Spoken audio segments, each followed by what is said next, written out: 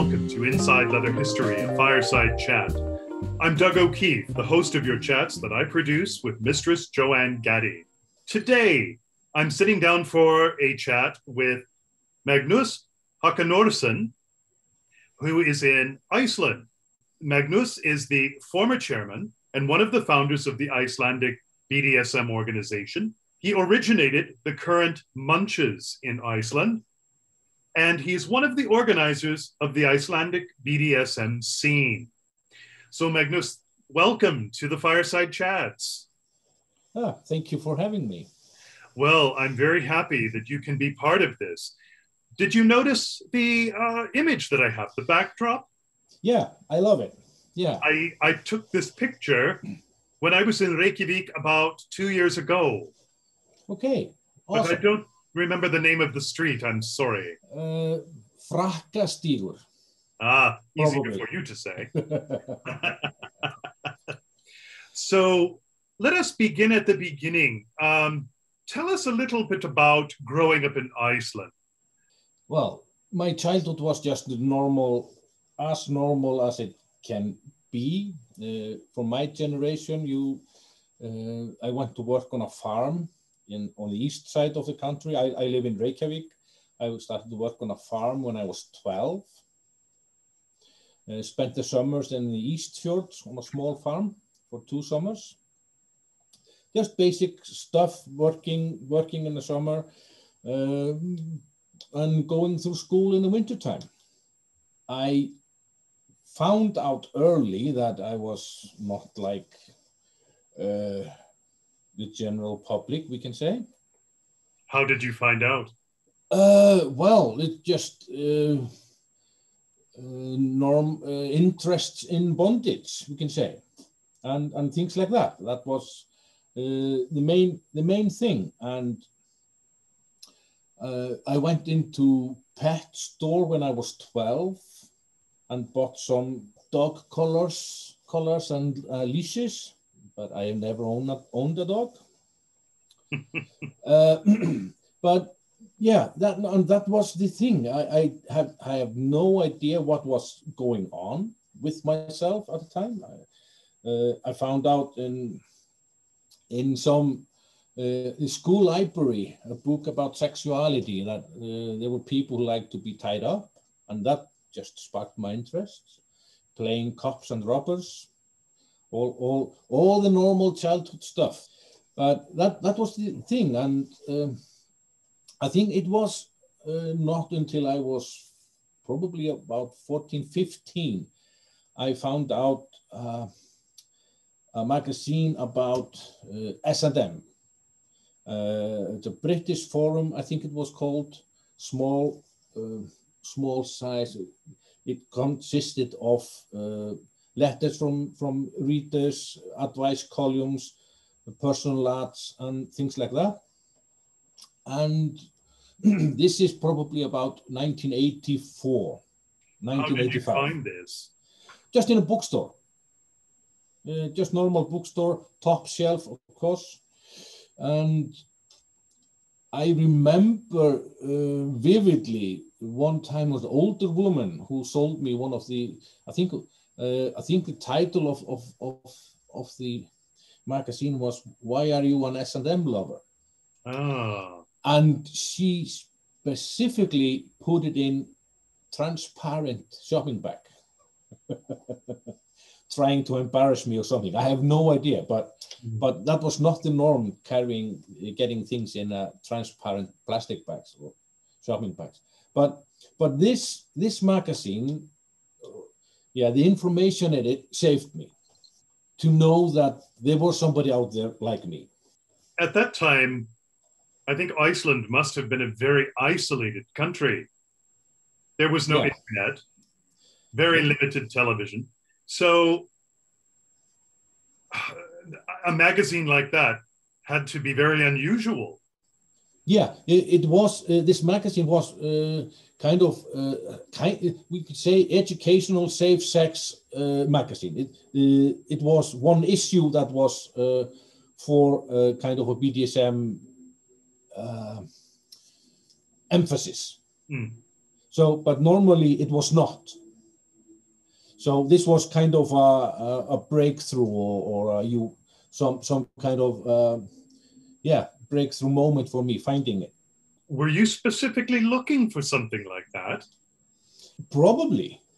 You know, uh, you're young, you're exploring, uh, and there is something that you find more interesting, uh, and you just yeah, there is some some magnet that drives you through it. I uh, that's the only explanation explanation that I have for that. Uh, and yes, there was no internet. Uh, the television was uh, all evenings, but not on Thursdays. There was no television on Thursdays, and hmm. no television in July because then was summer vacations. Oh, interesting. And we had one radio station. Yes. Wow. So when you were looking at this magazine, you mentioned you discovered other people had a similar interest to you. Did you learn anything else from it? No, basically uh, just that uh, BDSM, well, S&M, like it was called then, uh, was a thing. Uh, and what I had been doing uh, privately, non-sexually, was a thing for more people than me. And so it it opened up my eyes for uh, everything BDSM uh, connected. So yeah. How did you begin to find this world? In 1987, I dated uh, a girl who told me that she was not in some pillow talk. She told me she was not into kink at all. I did not bring it up, but she brought it up and said she was not into any kink. That that moment, I decided, well, I'm not going to spend my life uh, not doing things that I craved. So I ended that relationship soon after that. Later on, I some years after, I wondered, well, was she trying to fish or trying to bring the bring the discussion into that area or something. Was he testing me? I have no idea. But it, uh, the re relationship ended there. Mm. Uh, nothing happened really. Uh, well, this is one thing that happened in 1987. I saw Rocky Horror Picture Show. Ah. Uh, and don't be it, no, don't dream it, be it. That phrase did everything. It's responsible for everything. It opened my eyes. Uh, you see something that you dwell on, and uh, I saw, uh, and basically nothing happens after that until uh, the internet, uh, IRC, yeah, or IR, IRC chat channels mm. that you could connect to, and that opened my world. You know, you could talk to like-minded people all over, all over the world. So, and I, I had been uh, starting to try to find uh, like-minded people without success. I, in 1988, when I was 18, I put in uh, an ad in one of the newspapers, personal ad, looking okay. for people looking for people into S&M, leather, spankings, things like that. And it was uh, censored, never printed. Oh. Then, then you had this I'm alone in the world feeling of it. Uh, there was no way to connect to other, other people. Uh, I had no idea or connections into the uh, gay world or, or, LGBT world at the moment. It was so uh, far away mm. that I, I could not, I was just, um, it, I just didn't imagine that how I, I would fit in, in that. But I heard rumors the Men's Motorcycle Club or MSC Iceland that was operating from 1985. Uh, the National Queer Organization in Iceland was formed in 1978. So it's all kind of, uh, still kind of new in, in that time. Uh, and most people, uh, or, or most queer people in the past, they went abroad. You couldn't, you, you didn't stay in Iceland. You went to Denmark, you went to Germany, uh, uh. to, to be yourself. And it was very difficult to just to find out. You, I, I had no idea about uh, about these things. There was no connection, but but I found out. Yeah, there was a club, but it was far away, and I had no idea about it. Far away in Iceland or elsewhere? No, just just just far away in your mind. You know, it's it's ah, so ah, so outlandish. There was oh, no there, there was no no connection and and i i wasn't gay i didn't belong i, I mean it was not for me to get there because i wasn't gay mm-hmm. yeah in 1995 i started to educate people about bdsm how did you do this uh, people from the uh, uh, chat channels i said hey i have toys and i can show you i'll talk about about bdsm and they said yes. And that was the beginning of my BDSM education, uh, teaching other people about BDSM. How did people respond to this? Uh, well, quite well. That is, those who attended, because uh, it was it was kind of you know talking to my friends about this. About that time, I started to reach out, uh, trying to connect to the BDSM organizations in the Scandinavia, in Denmark and Norway. Mm, mm.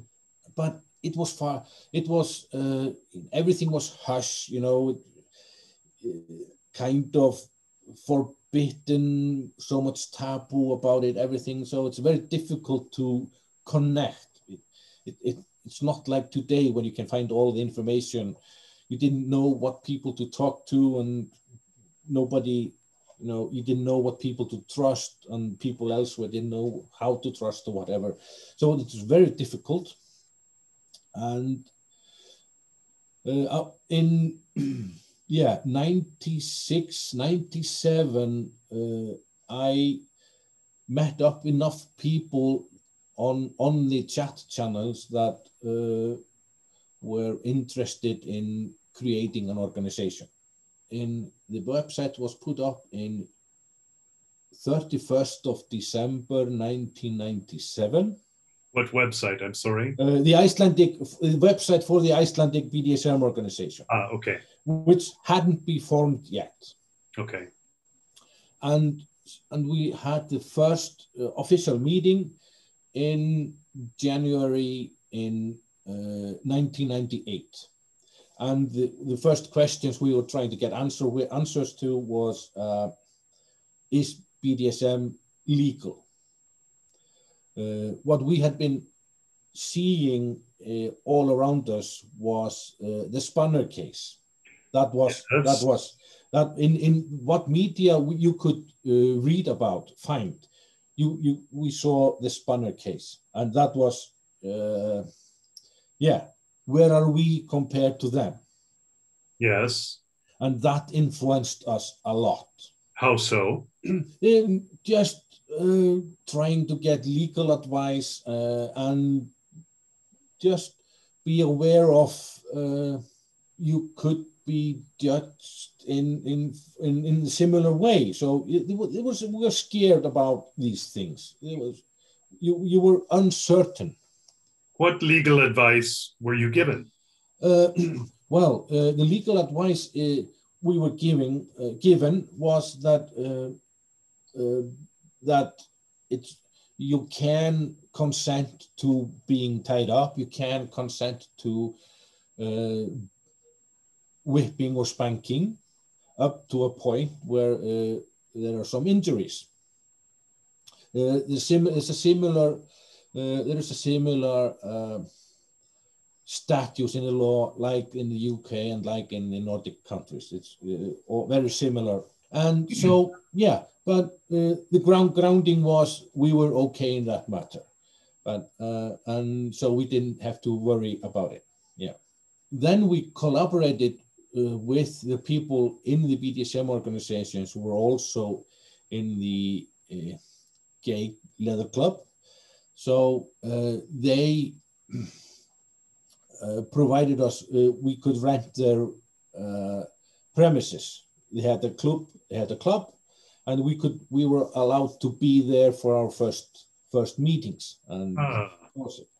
so we we put up regular meetings there, Uh, but uh, it's funny and but sad at the same time. There were people who didn't want to come to our meetings because they were hosted there in the gay leather club. In ret retrospect, we did a very large mistake in the beginning. Well, I think at the same time, it, uh, when you look back, it was a mistake, but I don't think the Icelandic society was ready for, for, for it. But uh, that is, we decided to keep uh, the organization and keep stay in the closet. So, do you feel keeping it in the closet was a mistake? I, am not. Yeah, that that uh, in retro, re, retrospect, it was a mistake. Okay. But but at the same time, uh, I don't think Icelandic society was ready for us coming out of the closet. After after the meeting, uh, the first meeting, uh, we went on national television. Okay. Uh, there was a newscast program uh, that uh, wanted to interview us, and you know, they did a short story about us, about the BDSM organization. At the time, nobody, we were not out of the closet, so we we came behind, the, we talked behind the uh, screen, so we, we were just blacked out. So there were no, there was no person. It just shadow figures.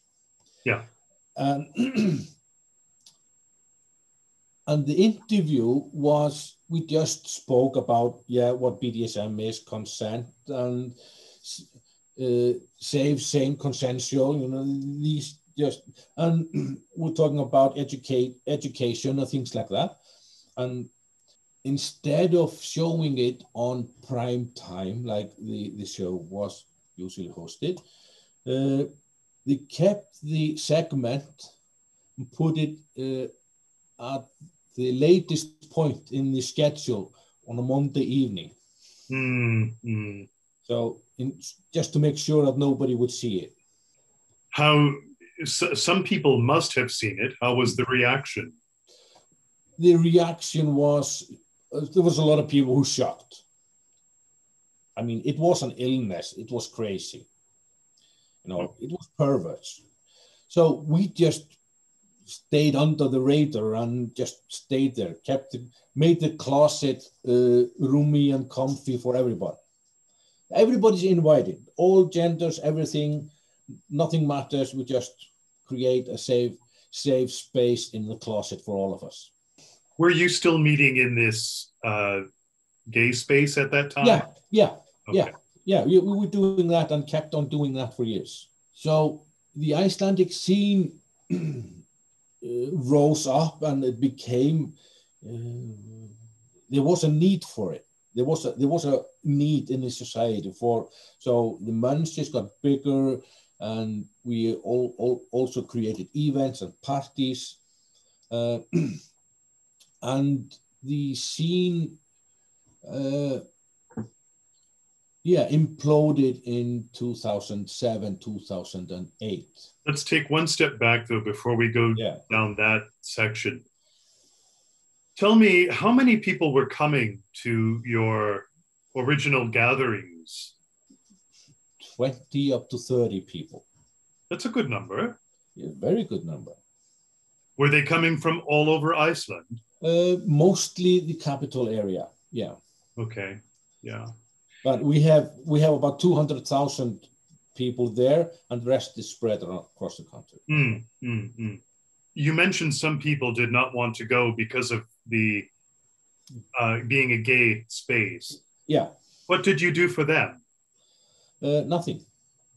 They just Uh, didn't come. Yeah. Oh, that's a shame. Yes. But uh, it, it was, yeah, but uh, we didn't have any other opportunities for locations. So it was like, um, there's nothing else we can do about it. This is the only venue that uh, we can have at the moment. Uh, and so that was the, yeah, that was the only thing. Tell me about the venue. What did it have? Um, it was just a dark, small basement uh, with a dark room, small bar, a couple of uh, 50 gallon drum, oil drums for tables. And yeah, it was kind of fun, sleazy, dark, shabby Mm. club. Yeah. Did it did it have, uh, for example, slings? Did it have Uh, other? in the in the in the in the dark room, yeah, there was a there was a sling there. Yeah, yeah. Oh, okay. There were hooks in the there were there were hooks uh, eyeballs in the in the ceiling and, and things like that. Yeah. So they had some uh, basic things that you could use. Yeah. Okay. Okay. Now, how big was the uh, the gay club at that time? This SM club. It was not big. The the the the, the, the scene was not big, and they were not very strict on dress code there. Uh, uh, So, but but the thing is, you have a small society, and and if you want to be overly strict on on dress codes, then you have a rubber night with the two rubber guys, and you have a leather night with the three leather guys, yes. and and then one. Uh, army guy or what what so Yeah. one puppy so so you have if you want to do something you have to invite everybody how did the people uh, come together? So were people comfortable being heterosexual BDSM people with gay BDSM people? yeah but but in the beginning uh, uh, we always we always presented the organization as pansexual that was always. Ah. so uh, but and in the beginning we had probably about let's just say eight guys with two females. That was the proportion or something like that. Uh, and there was no sex or, or, or very little play in in the meetings. It was just main it was mainly just educational and and kind of kind of a munches with with some educational aspects to it so you have mentioned these munches. Uh, how many people would come to those? uh, well in the beginning uh, the, the the munches they outgrew that premises uh, and so we were able to to put the the munches onto some of the local pubs or, or venues uh, and they were up to 30 20 uh, 25 30 people 35 something that was that was the norm for for Oh. the munches Wow, that's great. yeah Yeah. uh, we had one uh, website. Uh, there was a there was a local community website or, or a social media site uh, that everybody used. And when the scene imploded, split in two, uh, that website went down. So certainly in 2008, uh, there was nothing. There was no way to communicate with other uh, Kinksters or, or communicate or, or advertise anything. Let's come back to this because you have mentioned that the scene imploded. What led up to this?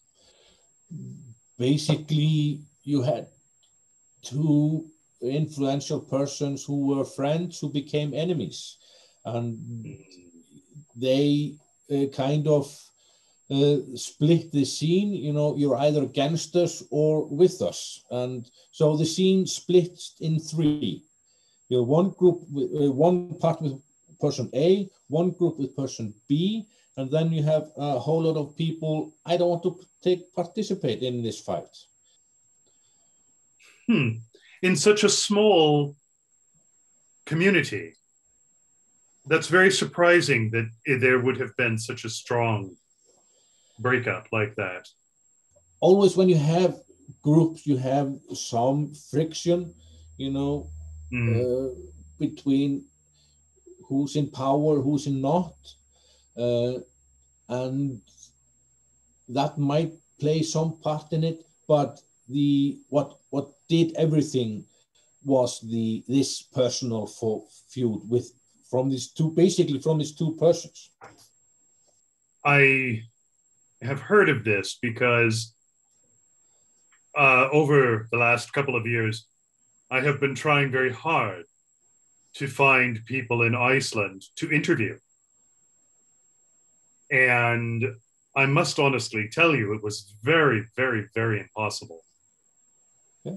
And I thought, what must have gone on to have created such animosity? So that's why I took another direction and was able to meet with you. Yeah. But uh, what beca- what came out of that? Uh, out of it uh, was in 2009. I started the Munches. Uh, before the implosion, uh, the Munches were run by the BDSM organization. It's a top-down process. uh, when I started, I, I decided, okay, we're not going to go that way again. So I, I, I basically built it up as a grassroots movement. Okay. Uh, start from the bottom and you build it up.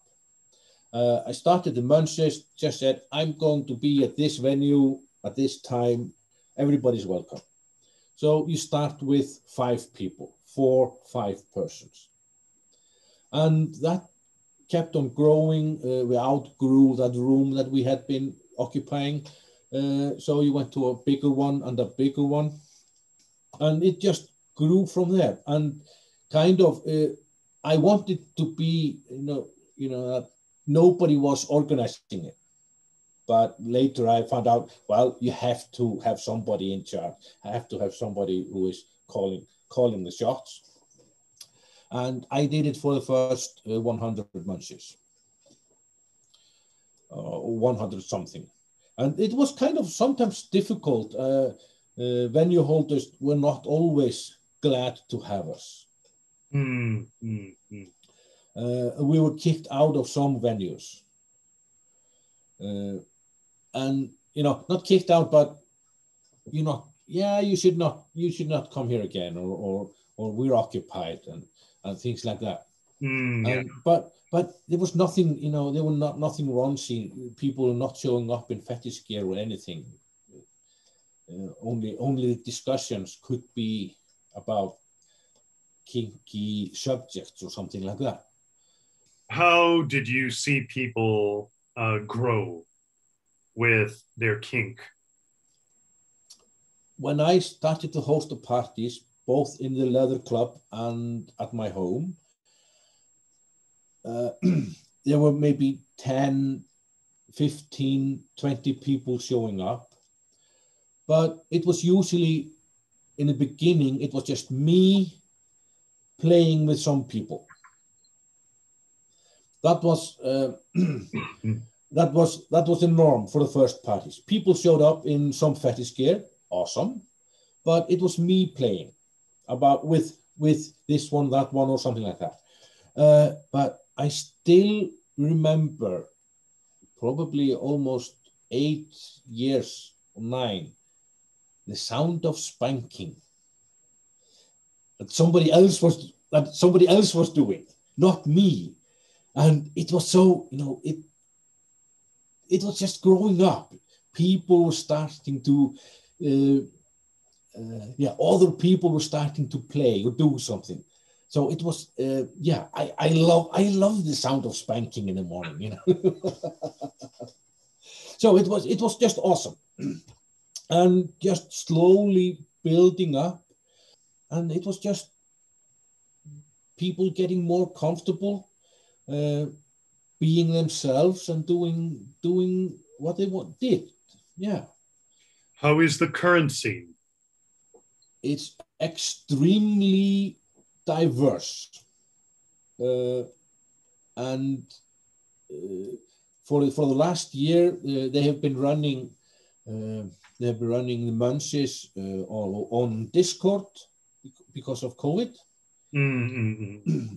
and but and we had to shut down all play parties. Mm, yes. But the scene is getting more and more public. It's more open. Uh, you can. Uh, I have, for example, with went with my friends on uh, on the club that I can see in your left corner on your screen. Uh, we have been there in fetish gear and all all all fetish uh, regalia. Yeah, and there's no problem being in public and playing and uh, being being outside in fetish gear. Yeah. Do you participate in the pride parades? Uh, yes. When we uh, had been running the munches for some time, uh, we decided it was time to uh, revive the BDSM organization. Okay. and and to start co collaborating with uh, the queer organization uh, in, in, in one way or another. And so we ended up with uh, applying for to become uh, associated of official associated member of the queer organization. Okay. There, there is a process for uh, organizations and group to connect uh, under the queer umbrella, I can say that. And in 2016, we applied to become a, a, a member of it. And uh, there was a general meeting where members of the queer organization uh, were able to vote on it. Uh, it was accepted, but then all hell broke loose. Uh, the old generation that had been working with, uh, participating in, in, with the queer organization for, for some time, uh, they stepped back and said, hey, wait, wait a minute, something is wrong. And there was a, a serious, uh, there was a serious feud going on. Uh, it was really bad. Uh, it threw a lot of BDSM people back in the closet, uh, and a lot of uh, gays uh, quit the queer organization, left it. And so there was a lot of feud, there was a lot of animosity and a, a lot of bad, bad things going on for quite some time.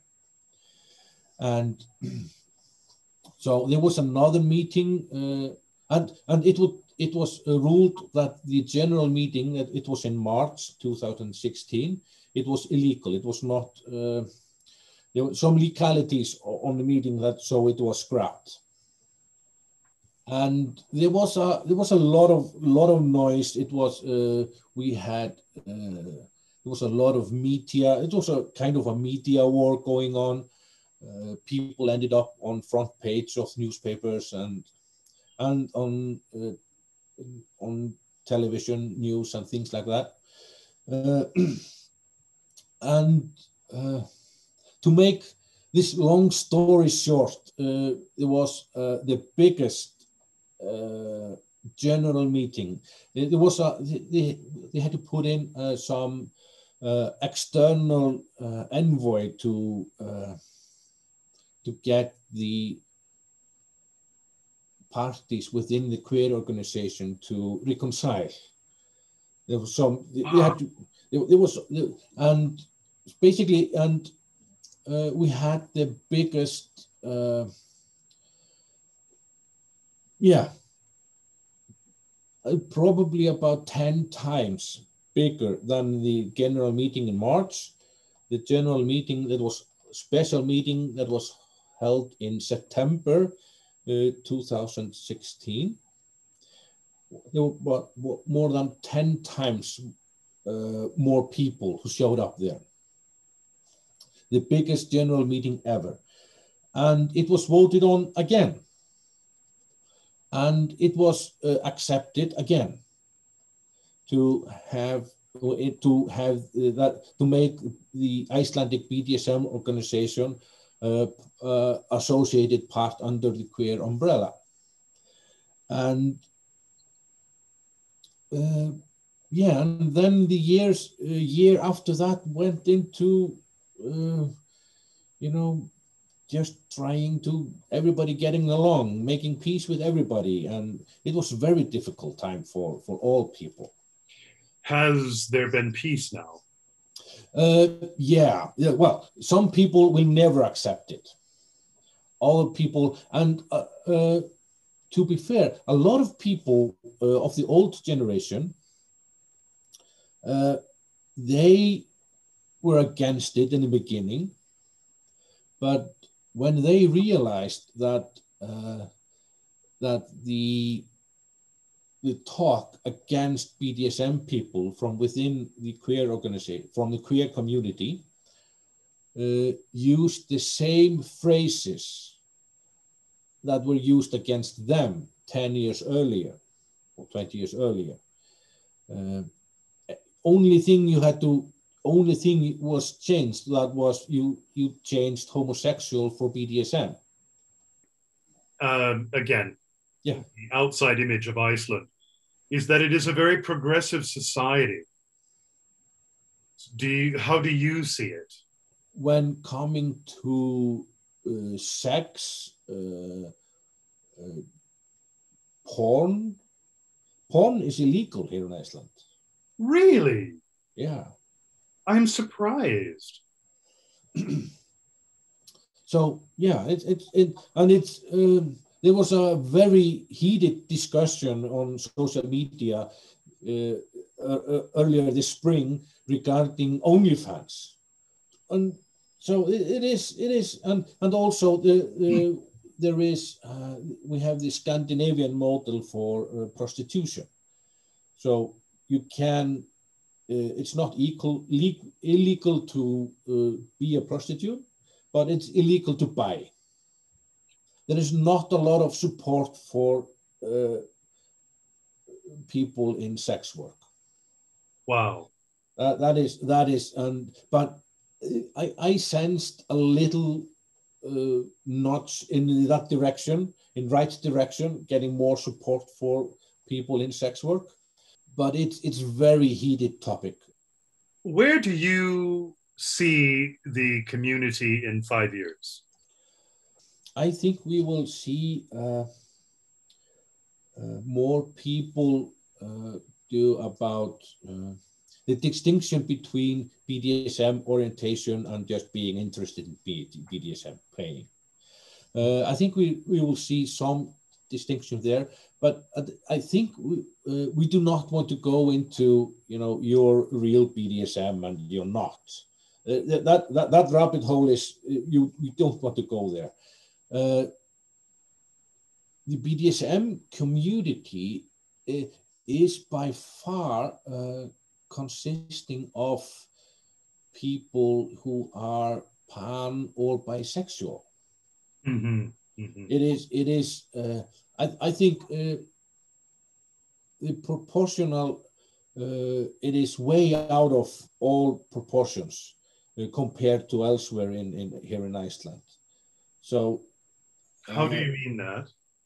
Uh, straight people are only about 50% mm -hmm. of, of, the, of the BDSM community.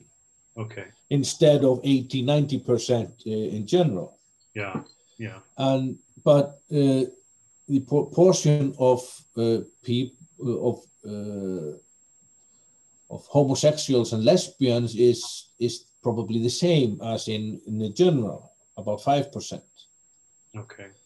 uh, we have a uh, well, we have a large uh, proportion of uh, non-binary and trans persons. Ah, I see.